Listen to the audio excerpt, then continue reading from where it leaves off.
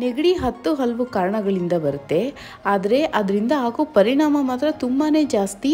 ಅದಕ್ಕೆ ನಾವು ಮನೆಯಲ್ಲೇ ಅದಕ್ಕೆ ಸಣ್ಣ ಪುಟ್ಟ ಮನೆ ಮದ್ದುಗಳನ್ನ ಮಾಡ್ಕೋತಿದ್ರೆ ನೆಗಡಿಗೆ ತುಂಬ ಒಳ್ಳೆಯದು welcome to Kumuda's kitchen and ನಾನು ನಾನಿವತ್ತು ನೆಗಡಿಗೆ ಮನೆ ಮದ್ದುಗಳನ್ನ ತೋರಿಸ್ತಾ ಇದ್ದೀನಿ. ಬನ್ನಿ, ಹಾಗಾದರೆ ಅದೆಲ್ಲ ಯಾವುದಂತ ನೋಡೋಣ. ಅದಕ್ಕಿಂತ ಮುಂಚೆ ನನ್ನ ಚಾನಲ್ನ ನೀವಿನ್ನೂ ಸಬ್ಸ್ಕ್ರೈಬ್ ಮಾಡಿಲ್ಲ ಅಂದರೆ ಸಬ್ಸ್ಕ್ರೈಬ್ ಮಾಡ್ಕೊಳ್ಳಿ, ಬೆಲ್ ಬಟನ್ ಇರುತ್ತೆ, ಅದನ್ನು ಒತ್ತಿ.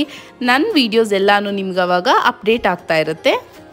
ಫಸ್ಟು ಬಿಸಿಯಾದ ಟೀಗೆ ನಿಂಬೆಹಣ್ಣಿನ ರಸ ಹಿಂಡ್ಕೊಂಡು ಕುಡಿದ್ರೆ ನೆಗಡಿ ಕಮ್ಮಿ ಆಗುತ್ತೆ. ಟೀ ಅಂದರೆ ಹಾಲು ಹಾಕಿ ಮಾಡಿರೋ ಅಂಥ ಟೀ ಅಲ್ಲ, ಬರೀ ಟೀ ಪುಡಿ ಬೇಯಿಸ್ಬಿಟ್ಟು ಮಾಡಿರೋ ಅಂಥ ಟೀಗೆ ಹಿಂಡ್ಕೊಂಡು ಕುಡಿಯೋದ್ರಿಂದ ವಿಟಮಿನ್ ಸಿ ಸಿಕ್ಕಿ ಬಾಡಿಗೆ ಇಮ್ಯುನಿಟಿ ಜಾಸ್ತಿ ಆಗುತ್ತೆ.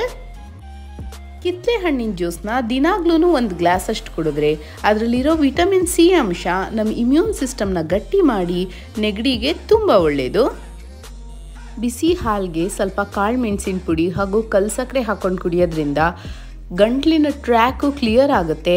ಮೆಣಸು ಹಾಗೂ ಹಾಲಿನ ಕಾಂಬಿನೇಷನಿಂದ ಒಳ್ಳೆ ಆ್ಯಂಟಿ ಆಕ್ಸಿಡೆಂಟ್ ಸಿಗುತ್ತೆ, ವಿಟಮಿನ್ ಎ ಜಾಸ್ತಿ ಇರುತ್ತೆ ಹಾಗೂ ಕಲ್ಸಕ್ಕರೆ ಮೆಣಸನ್ನ ಮಿಕ್ಸ್ ಮಾಡೋದ್ರಿಂದ ತುಂಬಾ ಇಮ್ಯುನಿಟಿ ಬೂಸ್ಟ್ ಆಗಿ ನೆಗಡಿಗೆ ತುಂಬ ಒಳ್ಳೆಯದು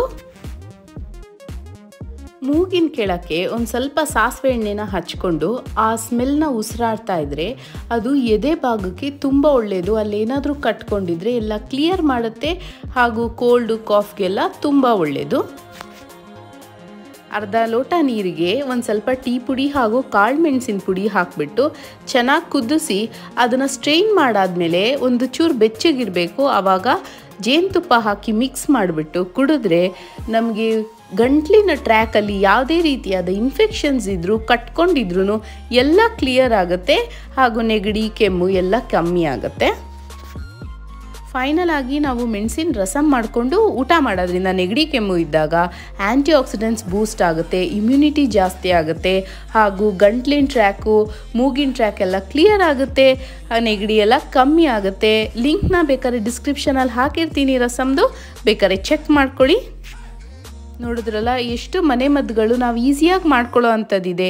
ನೀವು ಟ್ರೈ ಮಾಡಿ, ನಿಮಗೆ ಖಂಡಿತ ರಿಸಲ್ಟ್ಸ್ ಬರುತ್ತೆ. ನನ್ನ ವಿಡಿಯೋ ನಿಮ್ಗೆ ಇಷ್ಟ ಆಗಿದ್ರೆ ಲೈಕ್ ಮಾಡಿ ಶೇರ್ ಮಾಡಿ ಕಮೆಂಟ್ ಮಾಡಿ, ಹಾಗೂ ನನ್ನ ಚಾನಲ್ಗೆ ಸಬ್ಸ್ಕ್ರೈಬ್ ಮಾಡಿ. Thank you